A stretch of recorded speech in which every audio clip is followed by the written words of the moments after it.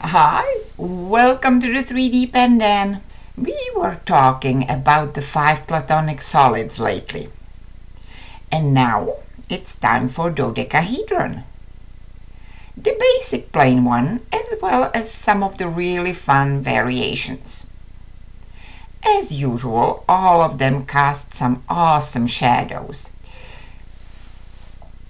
which makes them such perfect candidates for party decorations, among other things. So let's make some dodecahedrons, shall we?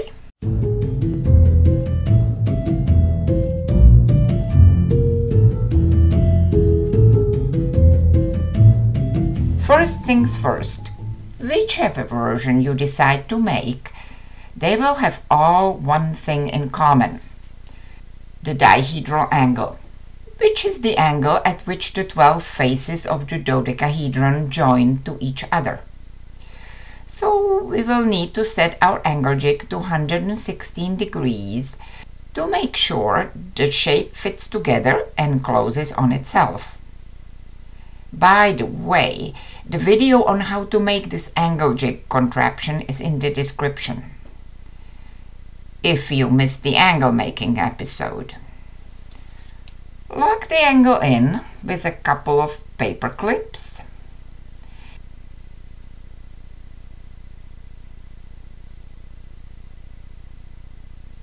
And here we will put our first pentagon and continue with the second one at the 116 degree angle onto the work surface.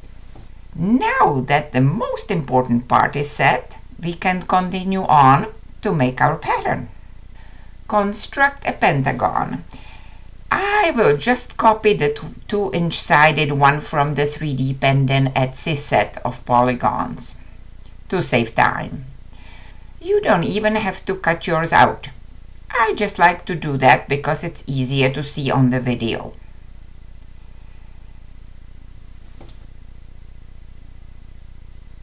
Now the easy part.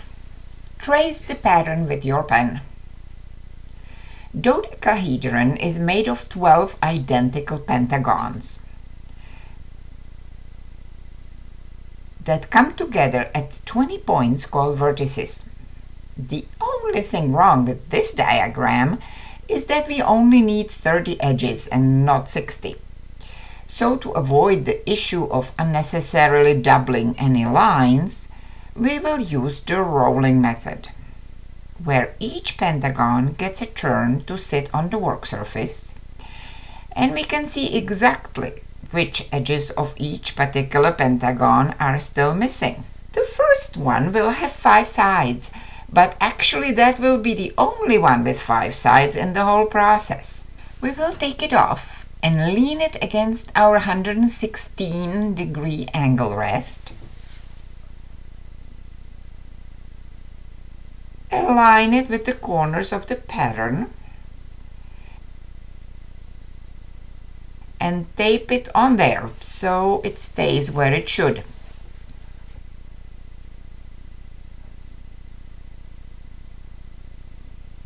Then I will trace what is left from the second pentagon, continuing from the side that's already there onto the work surface.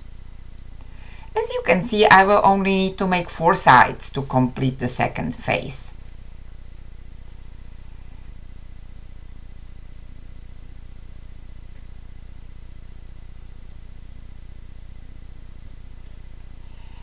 And here I have the first two faces joined at the 116 degree angle. Good start. The hard part is done. I have made the jump from 2D to 3D. The structure now stands on its own and I can ditch the angle jig because this angle will now determine the rest of the shape. I will still need to tape it down because it's a bit tippy. And I also need to make sure all the corners stay aligned where they should fit with the pattern. To put the third face where it needs to go. And as you can see this time I need to make just three sides to complete the third pentagon.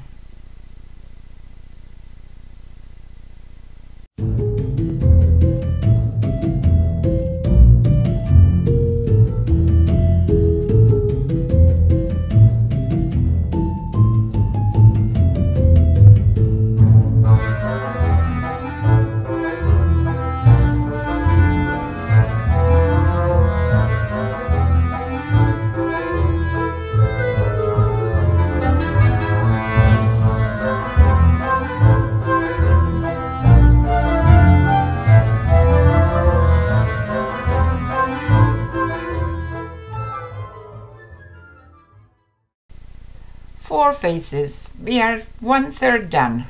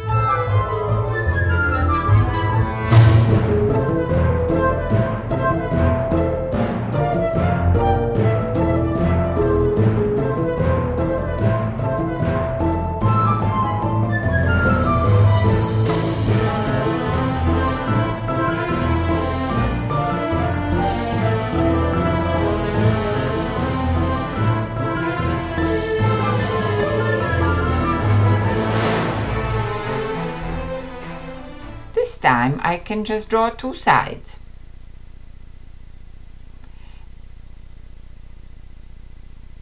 And I have six faces halfway there.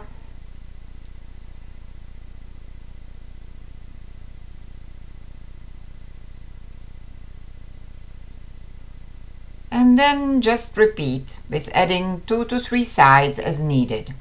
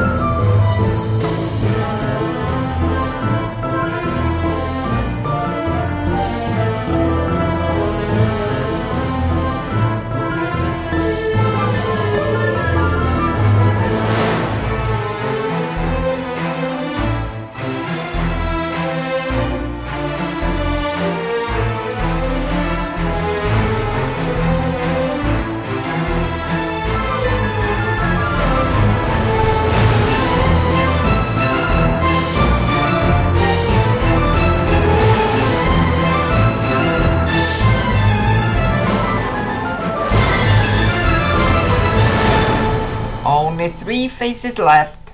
Means I am three quarters done.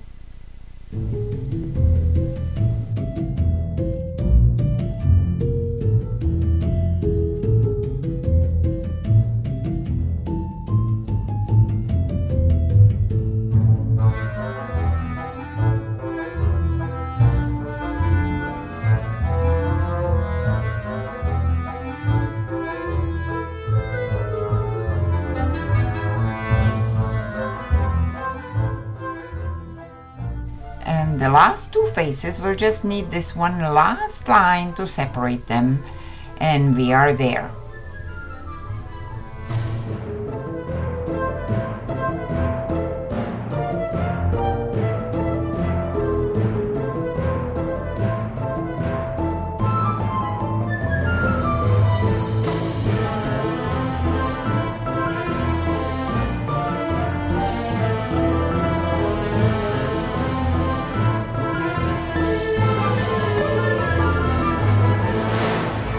Okay, all done. Mission accomplished.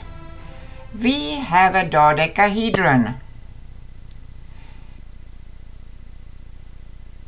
If you are doing your geometry homework, you are done now. But actually, the real fun just starts from here. Pentagons are such awesome shapes because by connecting the corners you can get a pentagram which is a five-pointed star that can be drawn by a single stroke of the pen.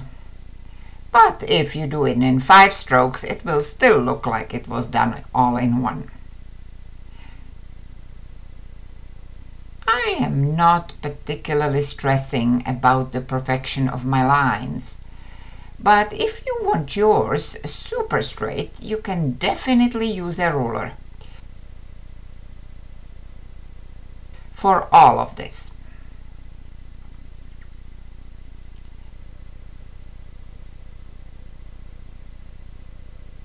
And by repeating the whole process with this pattern, you get this particular variation.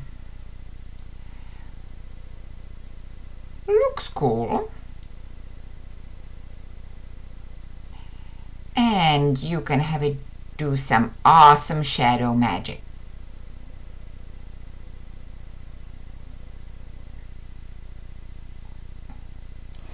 Because the pentagram points are in the same place as the corners of the original pentagons, we can actually forget the pentagons altogether and just join the stars.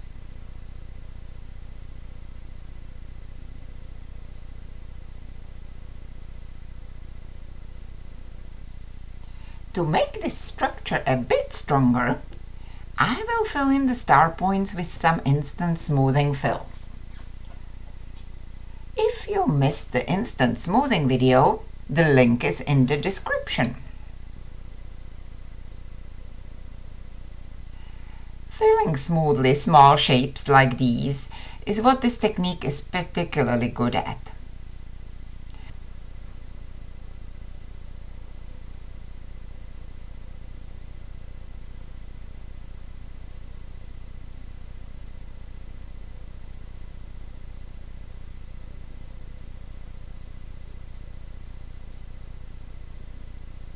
Or, if you don't want to fuss that much, just fill it the old-fashioned way.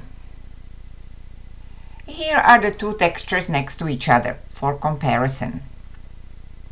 But all of this is going to be on the inside of the shape, so just decide how much you care.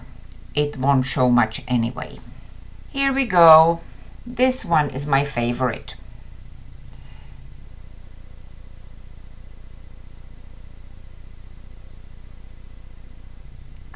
Have left out the last face because I want to insert a light in it.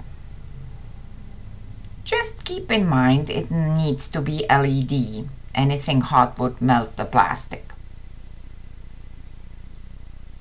The combination of filled and empty spaces makes awesome dancing shadows and provides hours of instant entertainment for children, adults and pets.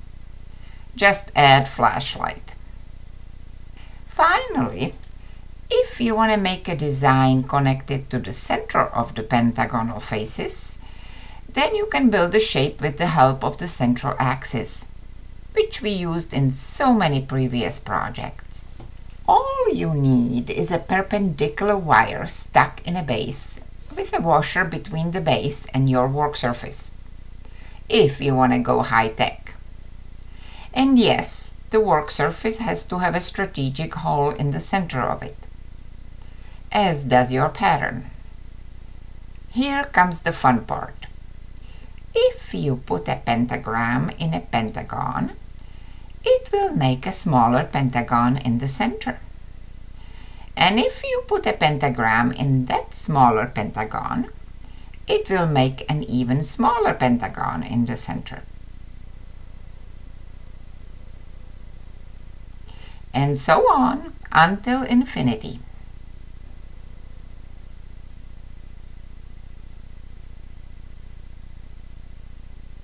Except you run out of room and hit the middle of the whole thing. Which is actually what we were looking for in the first place.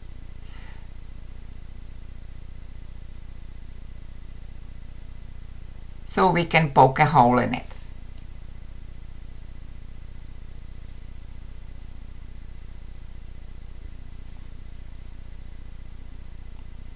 I am just going to fill the smallest star space solid because it is a bit too tiny to execute well as a star with the 3D pen. but feel free to try should you feel so compelled.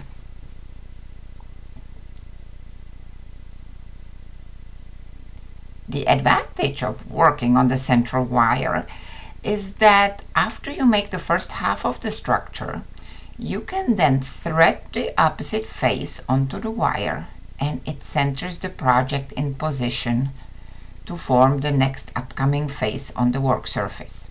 If there are parts that are hard to reach, lift the whole thing and make whatever it is you can't reach first.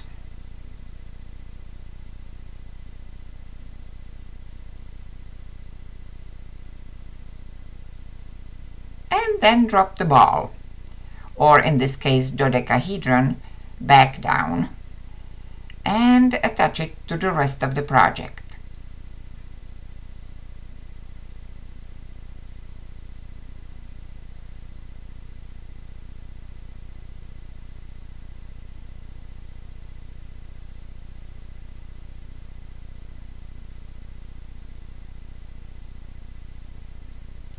And repeat until done. Time for a victory shadow dance.